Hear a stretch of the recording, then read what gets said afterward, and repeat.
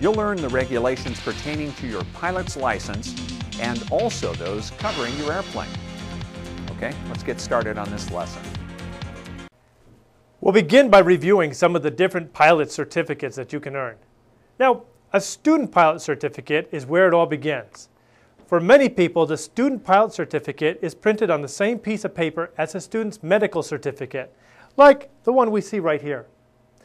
This certificate limits a pilot to flight only when accompanied by an instructor or on supervised solo flights once certain training requirements are met.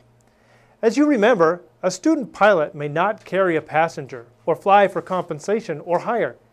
There are other limitations that apply to student pilots as well, but your CFI will go over those if you decide to pursue your flight instructor rating. The next certificate is one that you should already have in your possession if you're studying this course. That's a private pilot certificate. It grants the freedom to carry passengers or even carry cargo as long as neither are done for compensation or hire. The pilot may share the operational cost of the flight with his or her passengers and may even act as pilot in command in connection with a business or place of employment, as long as the flying is incidental to that business or operation.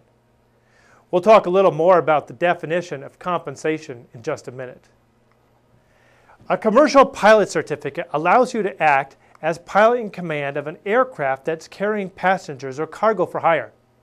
If you wish to conduct commercial operations more than 50 nautical miles from your airport or at night, then you must also possess an instrument rating which most commercial pilots already have. Commercial pilot operations include things like banner towing, local sightseeing, aerial photography, and crop dusting. However, having a commercial pilot certificate does not mean you're cleared to set up your own airline with your Cessna 172. There are limitations on your service. Moving right along, an Airline Transport Pilot Certificate, or ATP, is often thought of as the doctorate of aviation degrees.